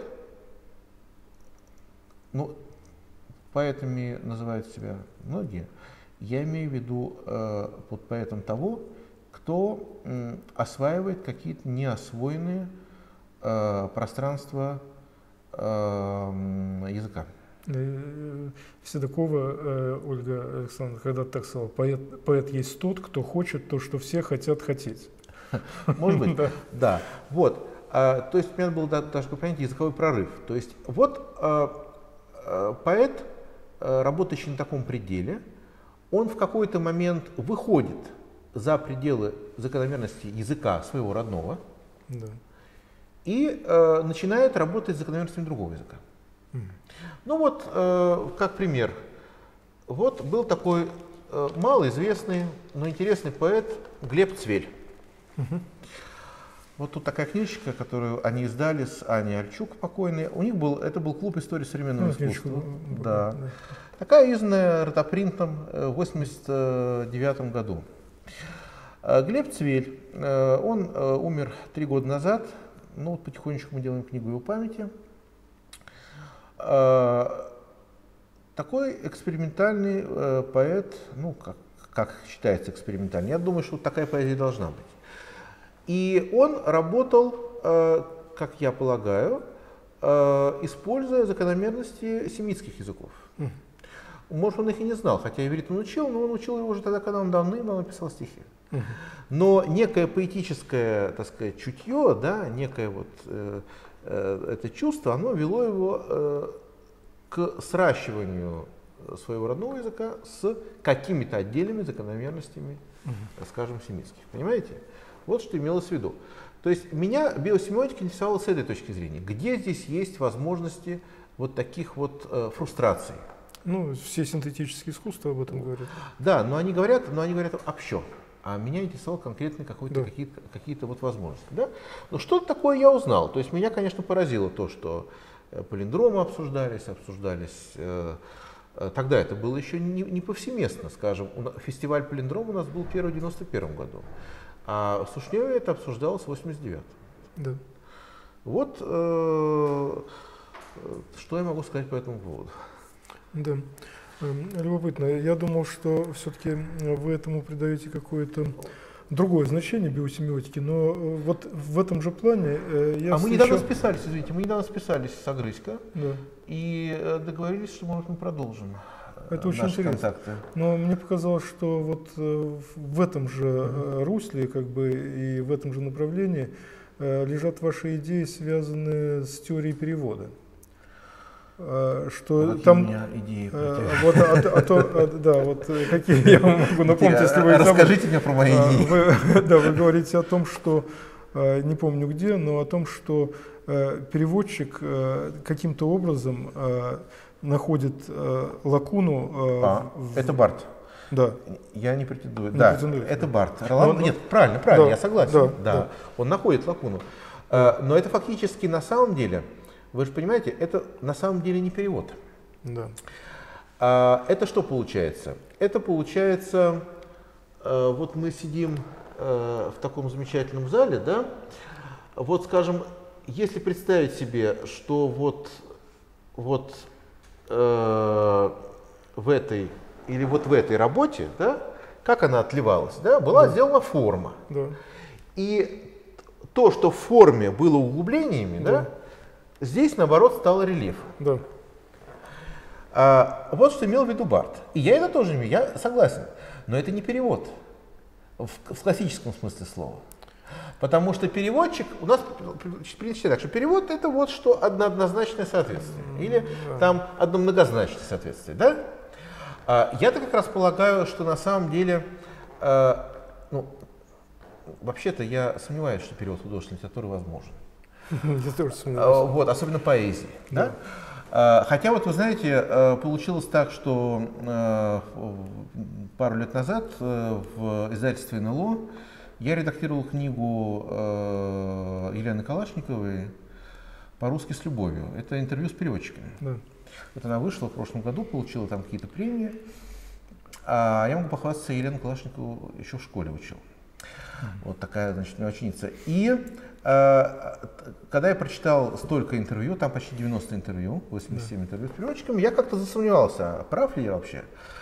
А, м, может, действительно перевод существует, и вот, э, там разные Но есть люди. существует, раз он есть. Нет, он есть, Да. но вот, э, вот он, может быть, существует, э, он существует, скажем так, феноменально. Да.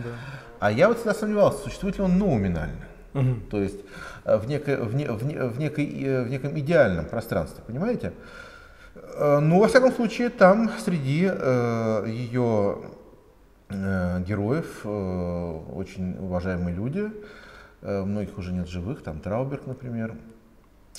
Э, Многие своим творчеством э, демонстрируют, э, что, по крайней мере, они э, э, многое берут от своих, э, из своих переводных студий. Ну, например, я открыл для себя такого э, прозаика, как Валерий Вотрин. С большим удовольствием вот, открыл. Э, Известно, что он переводчик, но оказывается, он и прозаик. Я думаю, что там есть в прозе, конечно, многое, что он взял из переводов, из оригиналов тех текстов, которые он переводит. Так что, наверное, но во всяком случае, мне кажется, что, понимаете, языки, они существуют как-то, вот есть светлая материя Да. языка, а есть темная материя языка. Вот мы же знаем, что во Вселенной 95% это темная материя. Да. Да? Но Мне кажется, что в языке тоже 95, ну, какой-то большой процент темная материя. Да. И она, как она существует, мы не знаем. Вот она где-то существует в другом языке, она где-то там проясняется, понимаете? Потому что мы привыкли думать, что так, вот, вот один язык, вот другой язык, вот третий язык. А они как-то одновременно существуют. Ну да. Э, Далеко не все там логически упорядочено, и большая часть конечно. не упорядочена вообще. А, Но это не имеет большого значения при акте коммуникации. Ну, разумеется, но при исследовании это имеет А при исследовании, Да, конечно, да. разумеется. А, да. А, и вот э, также вот вы упоминали и другой топос. Не только а, топос, э, который связан с расколом, но и топос человек и собака. Ну, это... Вот это мне показалось весьма любопытно, потому что я, откровенно говоря, мало что об этом до этого э, слышал. Ну, хотя там ну, как белый вы, бим, черное ухо. Значит, там... Вы кулика не видели? Я кулика я видел. Ну, тогда вы все знаете про это. Нет, ну почти. Все, ну, это Он все сказал нам. Да. Но там вот такая фраза э, была, что, не ваша фраза, э, что Э, киноцефалит э, – это тяжелая духовная болезнь. Нет, это моя фраза. Ваша фраза, да. да? Неспособность видеть свой звероподобный облик и страсть получать всех вокруг. А, вот это, мне кажется, это очень фундаментальное высказывание. А, хотя, ну, связано ли оно э, с, с этим психологическим явлением или нет, Э, это еще нужно как-то рассмотреть более подробно. Хотя э, само по себе, да, вот это вот э, пристрастие к этой теме, почему-то, оно, ну не только в русской литературе, оно, по-моему, и в культуре, оно, по-моему, ну как бы если не говорить про человека и кошку, еще кроме этого, но трудно найти какие-то более убедительные аналоги. Вот человек и собака, и человек и кошка, и кажется все. А больше устойчивых нет топсов. Ну, понимаете, мы тут выходим, во-первых, мы выходим э, в совершенно необъятные просторы мировой мифологии. Да. Э, и я не хотел бы в них выходить, потому что тут тогда добавляется человек-волк. Есть. Понимаете, да. и тут добавляется и э, Фрейд, Э, в том числе, если вы помните этот случай. Тут добавляется всякие... С вороной вы имеете? Случай нет, Человек-волк. А, человек Вот. Тут добавляются оборотни, и мы уходим совершенно э, просто за горизонт. Да. Мы уходим. Вот. Э, я имел в виду более локальные вещи. Значит, началось все чисто случайно. Началось все с того, что ну, понимаете, много лет я преподавал и занимался репетиторством. У меня э, вот был так, то есть это отчасти сейчас сохранилось, хотя гораздо меньше. Я занимался тем, что э, значит, называется резьба по дубу. Вот. А, но сейчас просто ЕГЭ а ЕГЭ это уже совершенно другой экзамен, абсолютно неинтересный. Ну, это уже лобзиком. Э, вот, а это не, да, и кроме того изменилось качество материала, сейчас уже не резьба по дубу, сейчас скорее гравировка по металлу уже. Э, и я немножко от этого отхожу. Но перечитывая, э, если не каждый год, то хотя бы там раз в три года классические тексты, я стал замечать какие-то вещи ранее незаметные. Ну вот, например, я же стал читать жития святых, да? И вдруг я перечитываю Муму и совершенно необъяснимым образом понимаю, что вот есть житие преподобного Герасима Иорданского, который приучил да. льва. Это известный, почитаемый святой. А вот есть Герасим, который Муму эту самую приручил, да, и потом утопил. Это вы сейчас затрагиваете тему дистанционной конвертивистики. Ну, как, как что, вы называете? Что-то такое, понимаете? А, потом я вдруг вижу у себя в литературном музее, где да. я сейчас числюсь, э, по архивам, как сказал Молчалин, э, вижу лубок именно на мотивы этого жития. Э, лубок 19 века, незамысловатый, где лев, естественно, по законам лубка меньше самого преподобного Герасима. Да. То есть, по сути говоря, как собачка такая. Да. Ну, не маленькая, ну и не бог какая большая. И есть там сюжетные всякие сходства, я понимаю, что вот оно. Да. Вот. Э, и как об этом не написать? Потом уже, когда я написал и доложил, я увидел в интернете э, значит, э, репортаж некоего в каком-то ЖЖ наш бывший мигрант, наш бывший статический мигрант уехал в Израиль и побывал в этом монастыре преподобного Герасима. Он есть этот монастырь и выложил даже картинки и указал на то, что, наверное, это связано с Муму. Да. Да, дотошный такой указал. Но он эту мысль не развил. Он mm. просто указал. Мне понравилось, значит, не я один придумал. Да. А потом получилось так, что, понимаете, на протяжении многих э, лет, э, ну как «Гроза» Островского, да. это же классический текст, просто наизусть его надо знать. Кстати говоря, это очень хорошее произведение. Оно в школе абсолютно выпотрошено. Вот вы говорите, вы там меня сравнивали с Белинским, Спасибо, что не с Чернышевским там не забрали. А, почему? А, ну вы понимаете, в чем дело? А, это так называемая реальная критика. Да. Реальная критика, она ведь а, никакого отношения к литературе не имеет. Почему она реальная? Потому что она под видом литературы говорит о реальности. Да. Ну потому что о реальности говорить нельзя было. Вообще, да. ведь при Николае II и в первые годы царствования Александра II считалось как? Что политик в стране один. Да. Высочайшая царствующая особа. Да. Всем остальным о политике говорить писать, да, и говорить не положено. Да. Это просто была такая установка. То есть мы еще сейчас живем в царстве вольности, конечно. Да. Вот, да. И поэтому под видом литературы, почему, почему это такая странная критика? Почему ее так странно сейчас читать? Да не, не об этом они писали. Если бы они могли, они бы это все бы бросили бы в мусорную корзинку и писали бы именно напрямую о проектах законов, да. понимаете, о там, э, э, парламентских дебатах. Э, Добролюбов был бы классным парламентским корреспондентом или там бы экспертом. Я уверен в этом, понимаете? Знаете, смешно напомнил. Да. Я не помню сейчас какой-то китайский классический поэт древности. Да которого выгнали от э, императора, да. и он поселился в провинции и жил там лет 20, уже состарился, и вот к нему послали мандаринов, да. вспомнив о нем. Угу. И мандарин э, приехал и спросил его, э, вот, ну, вот чем вы сейчас занимаетесь? Угу. Он сказал, ну, как и прежде, сочиняю стихи. Он говорит, а зачем вы это делаете? Но если бы меня не удалили от двора, я бы занимался политикой. Кстати, вот э, такая же судьба у моего деда. Э, он, э, понимаете, у него же была большая культура публичной полемики. Он все это любил. А потом, ну, ну, да, у него был интерес к музыке, он, с, он, кстати, довольно поздно я стал заниматься, но потом вот пришла советская власть, и политикой стало нельзя заниматься. Да. И все, всю дальнейшую жизнь занимался только музыкой. Ну, среди учениц Губайдулина, София да. Губайдулина, самая известная такая. Вот. И потом он, я читаю в его мемуарах, а, что вот если бы мне а, там, а, если бы вот не, то, не те, те исторические события, я мог бы быть политиком, там, деятелем, каким-то юристом и так далее.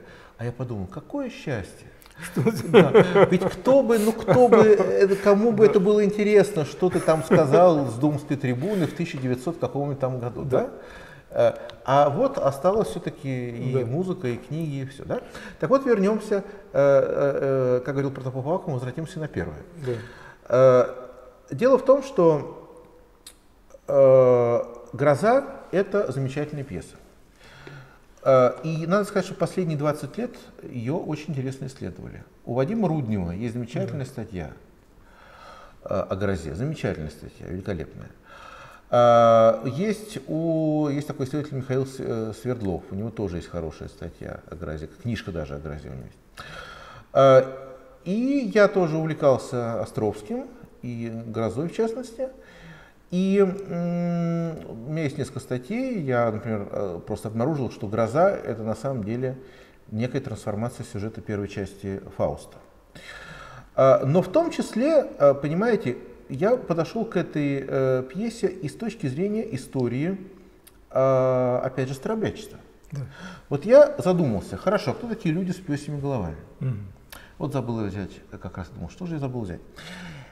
А дело в том, что святой Христофор в дораскольной иконографии изображается именно с пёсей головой, да. собачьей или с лошадиной. А, как бы, ну, по, по легенде, то ли он был представителем некоего такого народа псоглавцев, кстати, этот народ помещался на территории нынешней России. Я все никак не мог понять, откуда это взял Андрей Андреевич Вознесенский, а по ночам я пес России о двух крылах. Ну, это очень сложный такая сложный образ, да. Пес России о двух крылах, да. Вот, псоглавцы, да, вот они, э, их античные авторы локализовывали именно здесь вот, да. на самом деле. А, есть карты просто есть. Затем вот в этой, эта дораскольная иконография, она была при Никоне конечно, после Никона исправлено. Было сочтено, что это что-то неподобное, непотребное. Ну как это святой с собачьей головой, что это такое вообще, да? У западной традиции этого не было. Это была византийская традиция, византийская, и она осталась на Руси.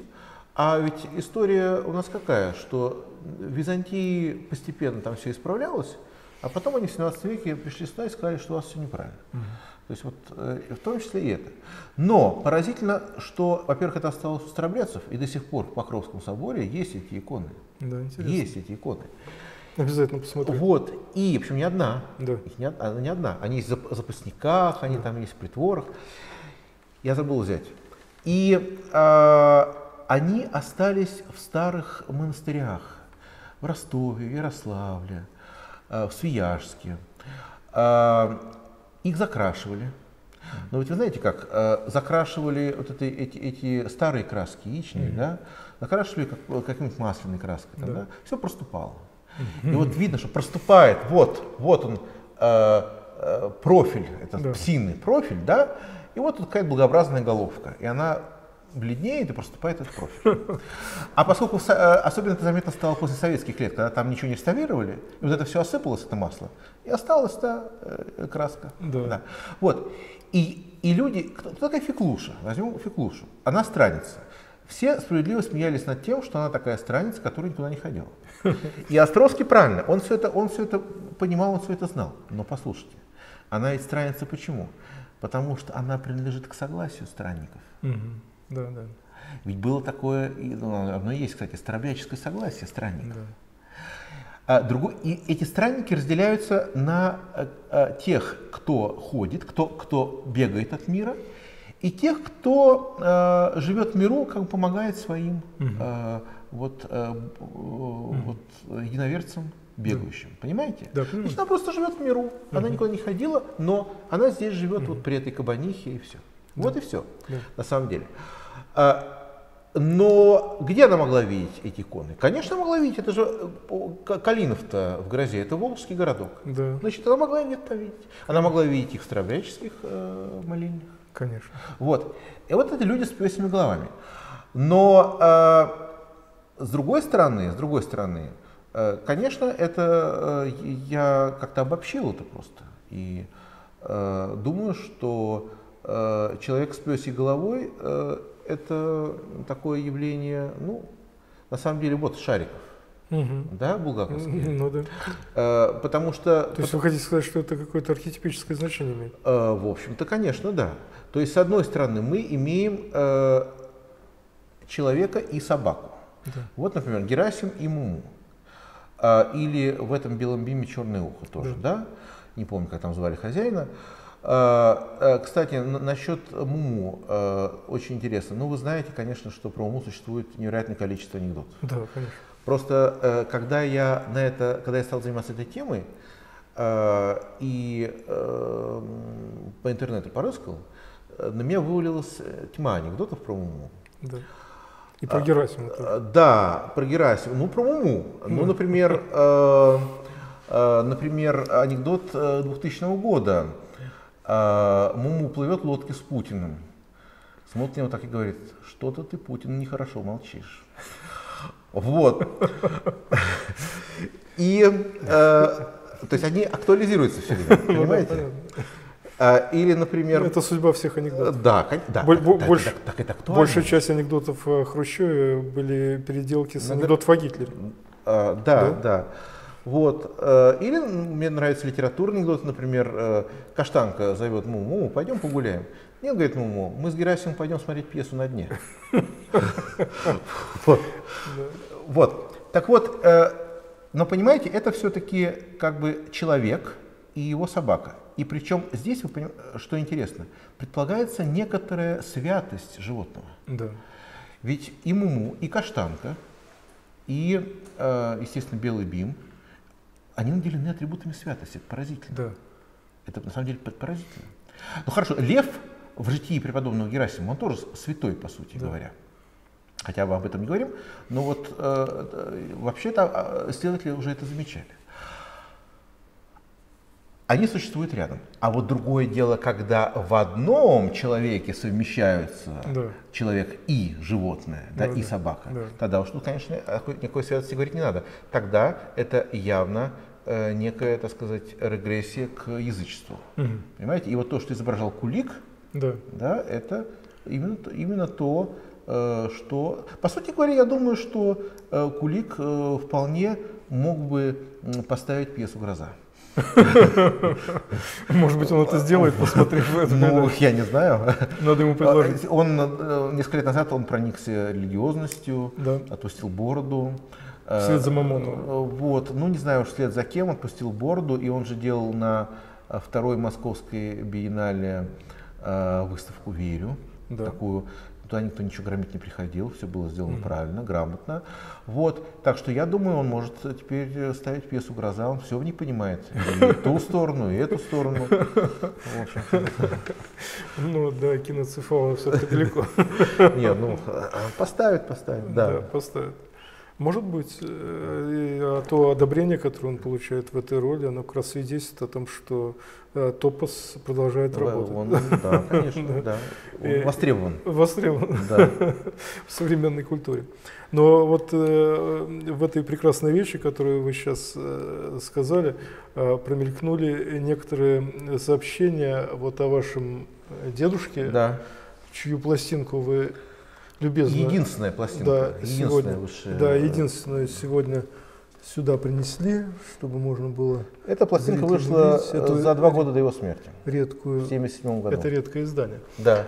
А, и не могли бы вы что-то рассказать о нем еще, вот кроме того, что мы продемонстрировали пластинку, и вы несколько слов сказали? Да. Да. Вы знаете, дело в том, что тут я... И, или э, даже, может быть, что-то показать из его архивов, которые, да. как я э, от вас слышал, они по большей части не опубликованы.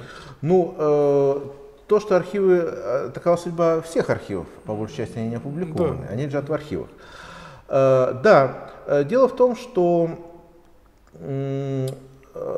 я э, так получилось, что я с большим опозданием для себя стал открывать э, своего деда.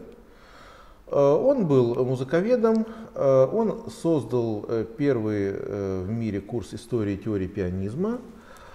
Э, то есть он исследовал пианизм с исторической и теоретической точки зрения. Да. Он был сам пианистом, в 30-е годы, 20-30-е годы довольно известным. Потом, конечно, его затмили. Его же ученики Гильс, Рихтер, да. э, они у него учились в консерватории, э, во всяком случае, Рихтер. Э, э, и э, потом он в 43 году ушел из Московской консерватории. Э, и до конца дней был безработным. Ну, то есть был, он, у него не было официальной ставки, скажем так. Да. Он наезжал там, в Казань, учил Губайдулину. Э, у него при жизни вышло э, некоторое количество книг. Книги ему э, выпускать, в общем-то, разрешали. Вот у него вышла книга «От работы пианиста», например, довольно известная книга. У «Врат мастерства» вышла четырьмя изданиями. Пятая вышла уже несколько лет назад, я писал к нему послесловие. Выходили избранные статьи в трех томах. Вот книга, которая сделала ему имя Ферруччо Бузони. Бузони был знаменитый итальянский пианист и композитор. Э, и, собственно, э, мой дед именно э, одним из первых стал им заниматься. Ну, Бузони, мы все его знаем, он автор приложений, фортепианных приложений Баха, вот Чикона знаменитая, да? И получилось так, что после смерти отца архив перешел ко мне, ну, к нам с сестрой точнее, и я этот архив полностью не видел никогда. И я с некоторым изумлением просто понял, что у нас некий такой клондайк. Ну вот я сейчас беру папочку, собранную, я просто наугад сегодня взял папку, которую я собрал для съемок фильма, о фильме я еще скажу, э, и э, просто собрал из некоторых документов. Далеко не все, это одна там десятитысячная. Ну вот, во-первых, э, сама фотография, фотография нашего героя. Она уже, правда, более поздняя сканированная, тем не менее. Это конец 30-х годов. Вот еще его фотография, тоже использованная в фильме. Вы говорите о фильме, о котором наши зрители Сейчас мы, мы, мы все скажем, а пускай они будут заинтригованы. Да. Пусть они еще потерпят немножко. Дальше, понимаете, смотрим просто, я как э, музейщик, смотрю качество музейного материала. Вот смотрим. Некое поздравление, написанное Сергеем Николаевичем Дурылиным. Сергей Николаевич Дурылин – это знаменитейший э, искусствовед, историк церкви, бывший священник, кстати говоря. Есть э, в Подмосковье его дом-музей. Они в конце 30-х годов э, переписывались. Вы понимаете? Вот просто, и вот тут рукой Дурылина, тираж один экземпляр. Это поздравление ко дню рождения. Называется «Пособие к игре в знаменитости». Тираж один экземпляр Тихрет Дурылин. При составлении списка знаменитостей на букву К следует вспомнить и написать. Там музыканты Коган, Кьюи и так далее. Вот этот список. Вы понимаете? Но это, ничего этого нет, да? Это один экземпляр. Просто один экземпляр. А, дальше, к примеру, наугад. Мы берем а, Московская государственная филармония, Малозат консерватория, сезон 39-40, 11 октября, вечер фортепианных дуэтов. Исполнители Генрих Нейгаус, Григорий Коган. Этот в- вечер, на котором присутствовал Пастернак, это известно. В первом ряду сидел. Э, Или вот, э, например, э, огромное количество программ других исполнителей. Ну, Например, 28 год, концерт Игумнова. Вот еще один концерт Игумнова. Э, Вот. А вот, э, например, тут было... э, эм, Дед рассказывал в мемуарах, что Рихтер никогда не ходил ни на какие экзамены. Э, Он был выше этого. Э, В э, мемуарах о Рихтере говорят, что он не ходил на экзамены по истории партии. Это правда, он вообще не ходил на такие экзамены. Или приходил не вовремя, или не туда, не тогда и так далее. Значит, э, он сдавал деду историю и теорию пианизма. И, естественно, не пришел. Дед уехал на- на- по делам в Ленинград. Рихтер приходит сам через два дня после назначенного времени и с удивлением не застает э, экзаменатор.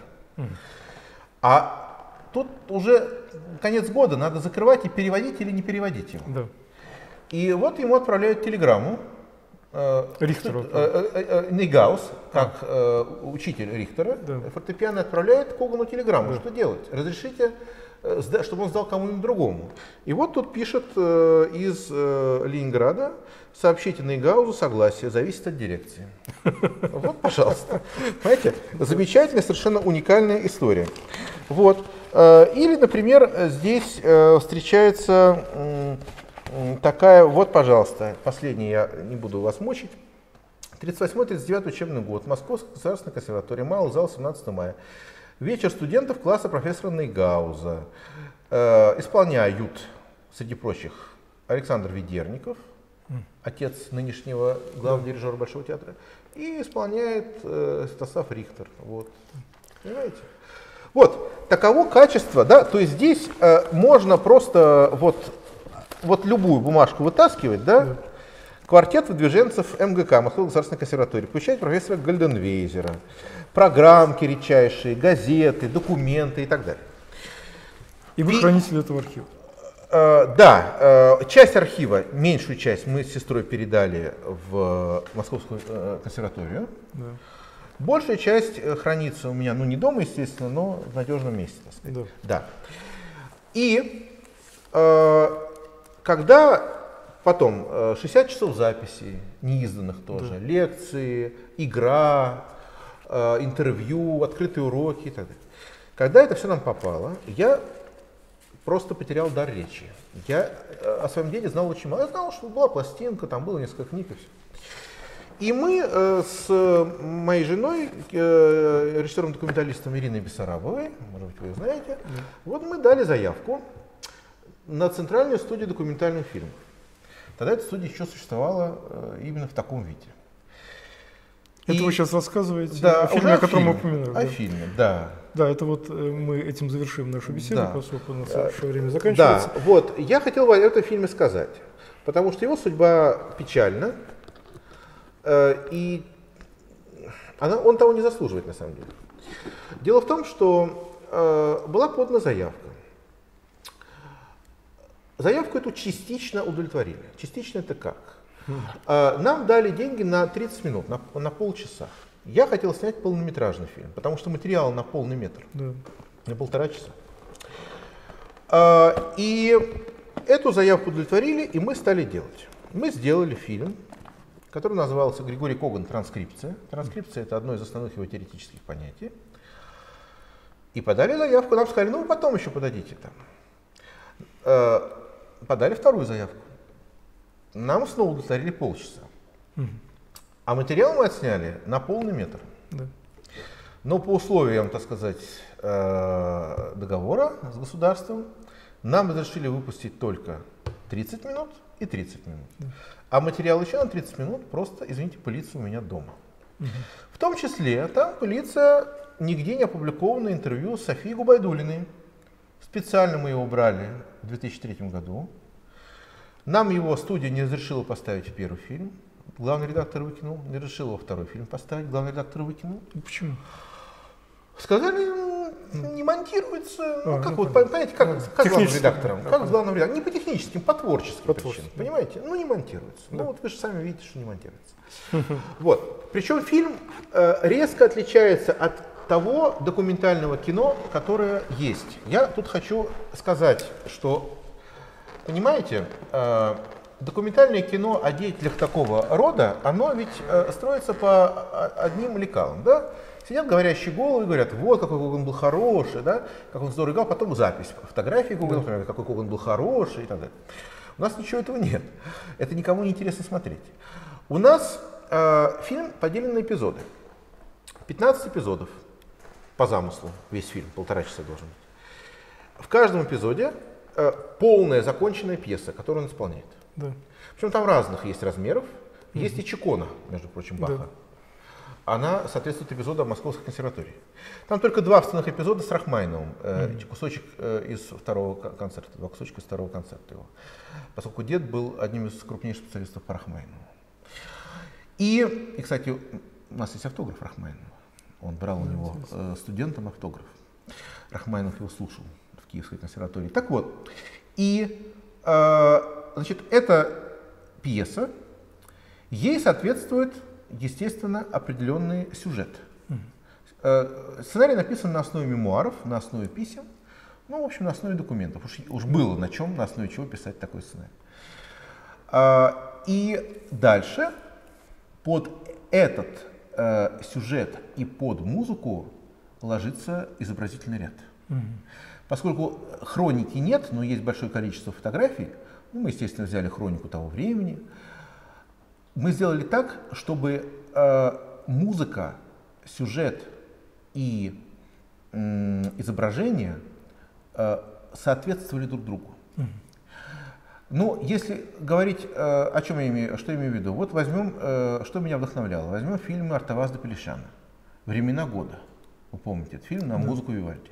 Вот совершенно потрясающий фильм, который в свое время просто меня перевернул.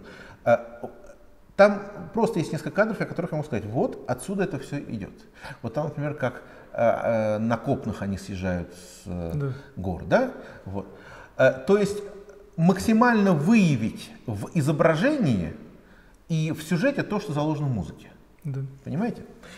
А, с другой стороны, э, совершенно иная фигура, Михаил Таривердиев. Он в этом тоже знал толк. Он в свое время писал, что звуков... у нас все фильмы называют звуковыми. Говорит, нет, они не звуковые, они озвученные. Это разные вещи. Звуковой фильм, там звук и изображение должны находиться в соответствии. Да. А у нас фильмы озвученные. Да. Там просто наложена Да, да, да, понятно. дорожка, понимаете? Так вот, мы сделали э, фильм, э, э, старались сделать звуковой фильм. Но трагедия в том, что фильма нет, потому что у государства есть право собственности на две эти части, Да. которые являются фрагментами полного замысла. Для полного замысла нужны некоторые деньги, и, ну, небольшие на самом деле, потому что большая часть да. отснята, и ну, урегулировать проблемы с государством. Но естественно, что государству не нужен никакой Коган еще в третьем, mm. еще в третий раз, да, еще mm-hmm. в полном метре, потому что, э, потому что Коган не был православным, он не был патриотом, он не был тем всем, да, угу. и вообще он ушел из Московской консерватории при, при каких-то, так сказать, угу. и был независимым человеком угу. достаточно. Вот, поэтому, к сожалению, фильм э, и, и права у государства, значит, мы не можем этот фильм выложить, строго говоря, нигде. Мы не можем его показать. Можно попытаться и спросить эти права. Да, но нам уже говорили. Нам сказали, пожалуйста, заплатите. А, понятно. Мы вам выделяли миллион. Да. Э, и миллион, два миллиона заплатите, все, пожалуйста, угу. права ваши. Угу, понятно. Вот. Ну, всего нужно делов-то 2 миллиона. Ну да, все у нас. Вот. А, так что я обращаюсь к зрителям, пожалуйста, если у кого есть. Да. Вот. А фильм, на самом деле, с точки зрения биографии, и, и я хочу сказать, что этот фильм показывали в русских аудиториях, я заканчиваю. И э, смотрел, например, в частности, племянник Марии Вениаминовны Юдиной э, Назаров, который сам делал фильм, документалист, э, он делал фильм о Юдиной. И он э, отнесся очень э, доброжелательно, потому что сказал, что мне в голову не приходило, что можно так делать. Вот, так что такова печальная участь. Но я думаю, что эта судьба этого фильма повторяет судьбу отчасти самого э, Григория Михайловича. Хотя в Соединенных Штатах есть его, э, например, ученица Нина Яковлевна Светланова. Это первая жена известного да. дирижера. Она там очень высоко котируется, она известна. Вот, она делает многое для пропаганды его творчества. Вот. Но в целом, конечно, ну, фигура, как и считается, второго ряда. Угу. Конечно, не Прокофьев. Ну да. Угу. Понятно. Ну, Прокофьев это немного Гений, другая да, история, да, да, да, и, Там, да, и там все-таки это композиция. Да, да нет, да. ну, разумеется, да, да. Ну что же, Михаил, спасибо вам большое за содержательную э, и интересную, во всяком случае, мне э, беседа с вами э, всегда кажется очень интересной. То, что вы рассказали, мы некоторые моменты не упомянули. Вот, например, о Каверине и Грибоедове. Ну, очень интересный доклад, который я слышал ничего. от начала до конца. Может быть, мы это организуем как-нибудь еще в другую мы, встречу. Мы поговорили подробно да. про какую-то общественную деятельность. Да, Объединенный да, гражданский фронт, да. куда я вхожу. Ну, ну, может быть, это будет темой еще одной да. э, передачи. Я хочу извиниться перед слушателями, да. если утомил вас, простите. Мы э, с вами прощаемся, уважаемые телезрители. До следующих встреч. До свидания. Ведущий студии Юрий Проскоряков. Сегодня была встреча с Михаилом Дзюбенко. Всего доброго. До свидания.